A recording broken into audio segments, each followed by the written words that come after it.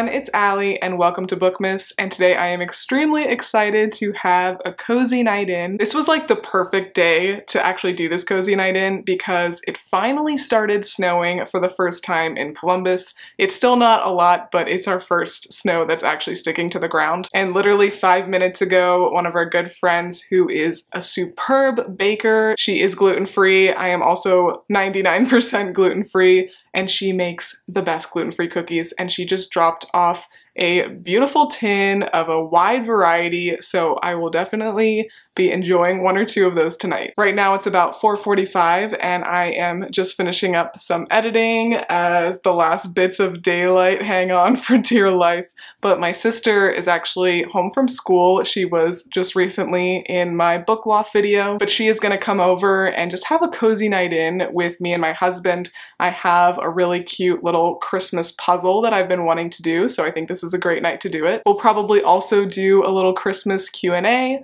just for fun so we can learn more about each other's favorite things and hopefully you guys will enjoy that as well. And then we are going to watch The Holiday, which is one of my favorite movies and I haven't watched it yet this season. But I've got my beautiful poinsettia right here. I've got a candle and the scent is literally feeling cozy. I got it from Hobby Lobby. They have some really good well-priced candles and you can't really tell but I'm looking out at a beautiful snow-dusted backyard so it's definitely a great start to the evening. So I don't know what we'll get up to first but I will check in with you as soon as we do something cozy. Okay, just kidding. It's literally like two minutes later now that I've started this vlog, I don't really want to do any more work for the day, and it's been a busy day. So even though it is not yet even dinner time, I'm going to have my dessert before my dinner because I am so eager to try one of these delicious cookies. So as you can see, we have a beautiful Christmas variety, and this is so exciting because I literally have not done like any baking this year yet. I'll probably do a whole other vlog where I'm kind of like prepping for our Christmas lunch. I think we're gonna do like a big Christmas lunch this year. So I'm probably gonna make some cookies and pepperoni rolls and things like that. But for now, I am just so grateful that somebody thought of us and brought these cookies over. But I think I am going to try one of these because they just look so cute. And then I also have this almond milk eggnog. For me, I just like to have like one container of the almond milk eggnog every season. I think it does go so well with a dessert and it's just something different that I really never have any other time of the year. So I'm just gonna pour myself a little glass of the eggnog and I think I'm actually going to just cozy up with maybe a short story book. I'm actually in the middle of another book. I'm reading The Abominables by Eva Ibbotson. I think that's how you say her name. It's a really cute middle grade story about Yetis traveling across the world to get to their forever home. But I have like three Christmas short story books that I haven't started yet, so I think I just want to read one of those tonight maybe. All right, so I've got my eggnog, I've got my little cookie, and let's do a first taste test. Very, very good, as expected. This chick is seriously such a good baker. I think she's thinking about starting a baking TikTok or something like that. Honestly, she could have a whole side business because I have bought from other gluten-free bakers who kind of just do it as a side hustle. And my friend Alex is honestly a lot better than these people. And she's really good at like decorating cakes and things like that. So again, I just feel so grateful that she brought us over this tin of cookies. And it tastes so good with that eggnog afterward. I can't think what the flavor of this cookie is. It's kind of like the flavor of a pizzelle, but very, very delicious. And as you can see, my little puppy dog Bernard has joined us because he's always where the food is. But I'm thinking that the book I'm gonna read, or at least part of the book that I'm gonna read today, is Festive Spirits by Kate Atkinson. She is one of my favorite authors. And I picked this book up last year when I saw that she had this collection and I just never got around to it. So my sister, she'll probably be here in about a half an hour or so. So I might literally be able to get through this entire thing. It's only about 55 pages in total, or at least I will be able to get through a couple of these short stories. I'm putting the blanket on for the vibes, but honestly, it is very toasty in our house.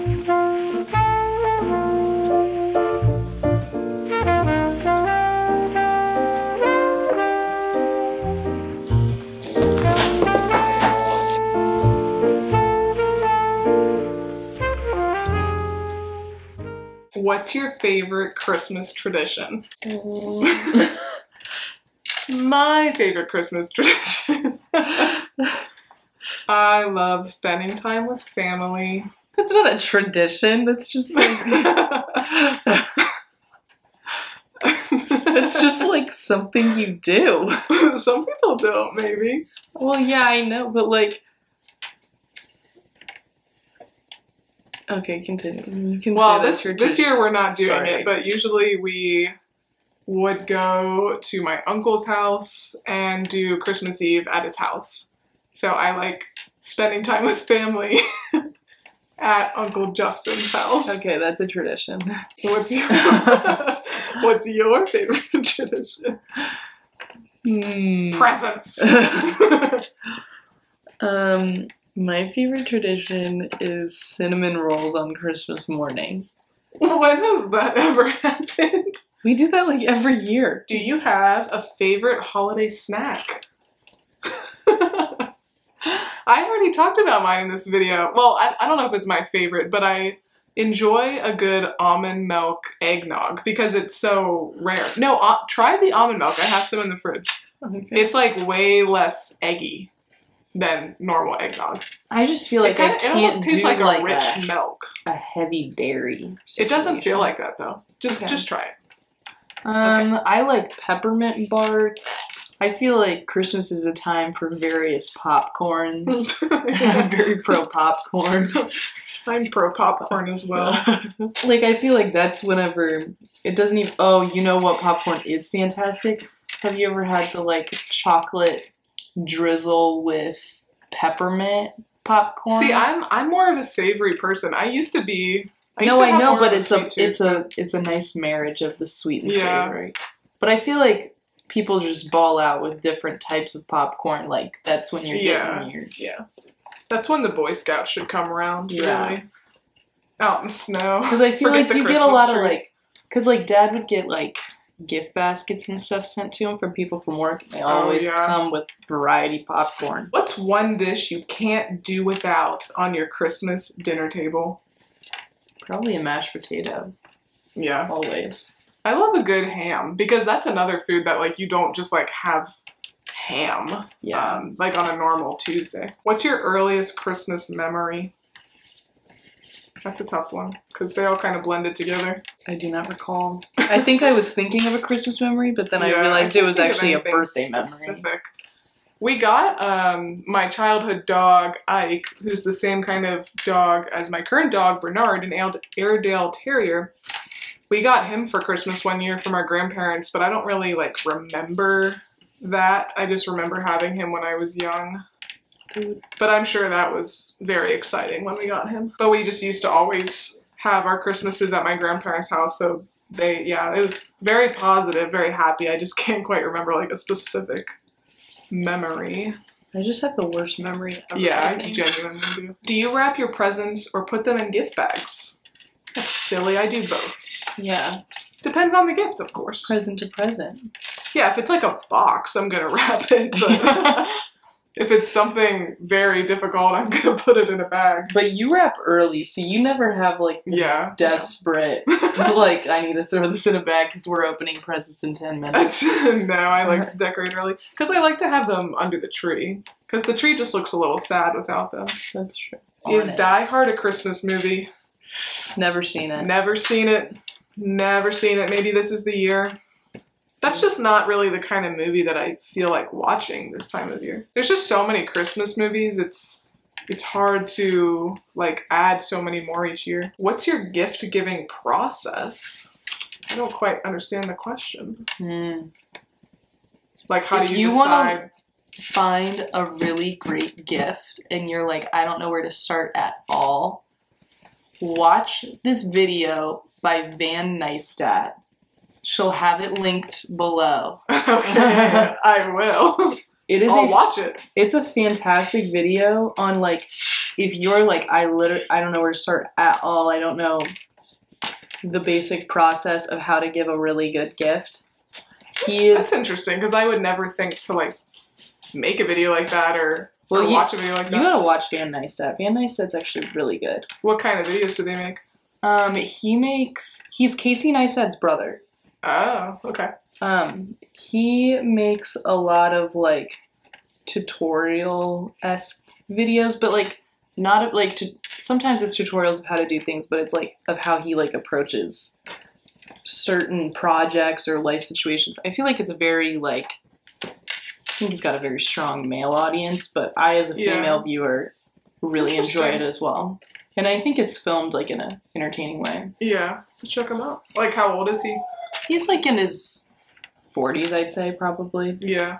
He's got like kids. Yeah, I love um, just going on Etsy, looking around, thinking about what the person, what their hobbies are, I guess, and thinking about what they probably wouldn't give themselves. Mm-hmm. Big time. But I enjoy that. I really enjoy just like spending a lot of time looking around for gifts, and I know other people don't, so that video is probably very good for that. Yeah. I also keep if I like know I have to give a certain person a certain gift at some point in time. If I like hear something that they say where they're like, I want this, but I'm not gonna buy it, Yeah. or like just get an idea, I have like a notes app for the person. Yeah, that's a good idea. Or I just keep a running list. I actually have one of your birthday presents already Wow. because I just saw it and I was like, There yeah, might as well. Her birthday's in October. Halloween. If you had to travel for the holidays, where would you want to go? My house. You had to travel. Oh, a hotel near my house. yeah, that actually sounds nice.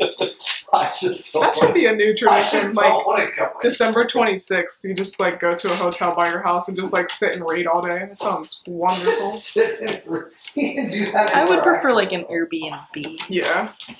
That's a new thing. Let me know in the comments if any of you guys have done this yet.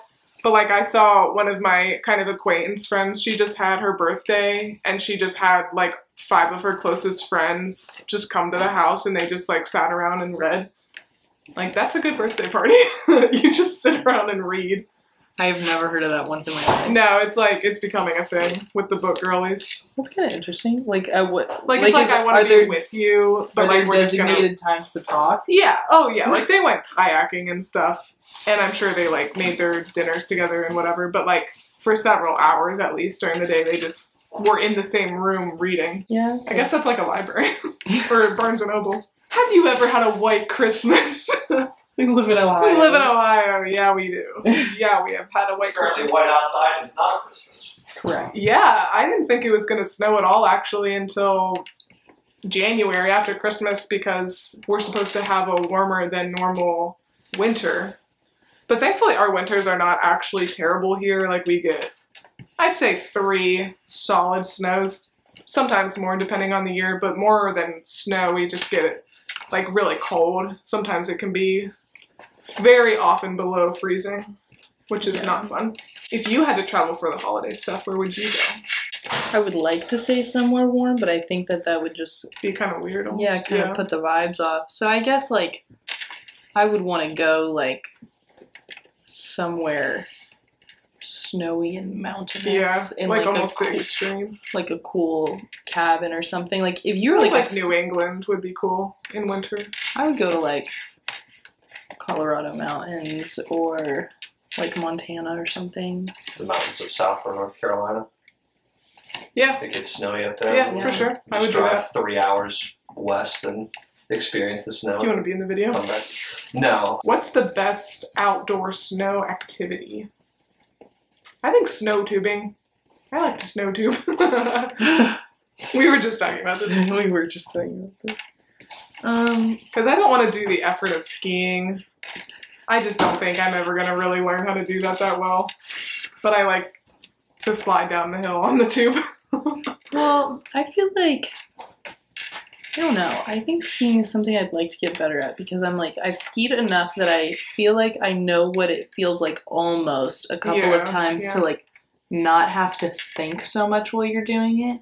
And if you don't have to think that much because you like know what you're doing, it'll be awesome. yeah, that's true. can, I just don't want I like the hassle of getting all your stuff on and like going out in the cold. But I'm sure once you're out there, it'd be a lot of fun. Well, I wouldn't like to ski in Ohio where it's like dark cold. Like I would want to ski somewhere where it's um, cold but sunny. Like, Yeah, like Colorado. yeah. If you were an elf, what would your elf name be? Snowball. Snowball, that's pretty good. That just makes me think of Stuart Little. Did you ever watch oh, that? That's true. That's kind of an old movie now, which is crazy. Because I watched that a lot when I was a kid, but I watched that. um, yeah, the cat's name is Snowball. Um, what would mine be? It'd have to be something with an A. Antler. Antler. Uh, I don't know. Comment down below what would your elf name be? It seems like one of those things that's like if you were born on this day and you like this, like this is what your name would be. I feel like there's definitely a test. I yeah, if there I'm gonna look it up. I'm gonna see what my elf name would be according to like BuzzFeed or something. Which is probably aging me because do people even do BuzzFeed anymore? It's very millennial. What's the worst Christmas present you've ever received? Yikes. I could not even say. I don't even know. I don't know either. I feel like I've never had anything like Yeah, no, like- That I would be like, wow, this sucks. yeah. I don't know where it cut off, but we were discussing our favorite Christmas flavors. Steph's is peppermint, and I think mine is cinnamon. I think. I like a gingerbread, not straight ginger. You like eggnog apparently. I do, but I wouldn't say it's like my favorite. I just appreciate it this time of year. Sure. Just the way some of these are worded. Do you have a holiday hack that helps you get through the season? Share it with the group. What's your holiday hack? What do you mean? I don't know. How do you handle the stress? I'm out of school. Like I know. I I am not someone that really gets stressed out. Obviously, I am not like hosting 50 people at my house or Yeah. anything like that, but I I genuinely really enjoy the holidays and like finding gifts for people and baking. Like that doesn't really stress me out. But I can understand for sure why it would stress certain people out depending on your situation. Right. But I don't know. To me, it's like it's a very joyful time of year. I feel like people are generally happier and more kind, like in stores and things generally. So I really enjoy that. And all the movies are so positive and everyone's so wholesome. Maybe not in Die Hard, I don't know. Where is the best place to see Christmas lights? Ever? Ever. I don't know. yeah. I'm always. We would always. Well, maybe this is one of my favorite Christmas traditions. Is that sometimes we would like go to Tim Hortons and get a hot chocolate and just drive around a bunch of neighborhoods. Yeah, And I yeah, think that's for really sure. fun. there's some really nice towns around where we live, some big houses. And yeah, some of those people, I'm sure they hire people, but they go very hard with the lights. So that's very fun. We, we should do that. We haven't really done that this year. Yeah. Or sometimes you see people who just like you're like this is a DIY project, but you Yeah, are, this is a passionate DIY project. Yeah.